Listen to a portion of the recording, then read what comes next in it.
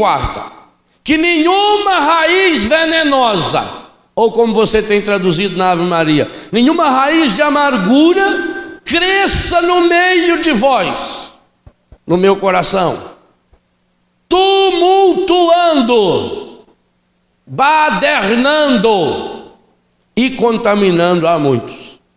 Então vamos tentar pedir a Deus que nos dê esclarecimento dessa palavra, para que a gente possa colocar em prática. Primeiro, procurai a paz com todos e a santidade, sem a qual ninguém verá o Senhor.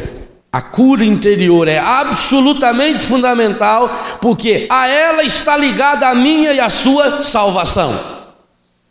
Procurar a paz significa eu tenho que fazer todo o esforço possível e impossível. E aí vem a prática do perdão, de modo especial aquilo que São Lucas nos conta no capítulo 6, a partir do versículo 27.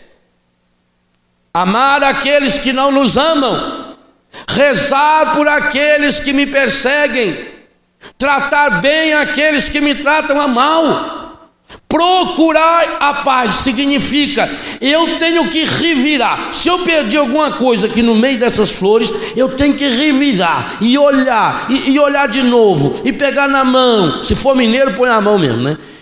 Tem que olhar e pôr a mão e ver: será que está aqui? Será que não está? Eu fico procurando.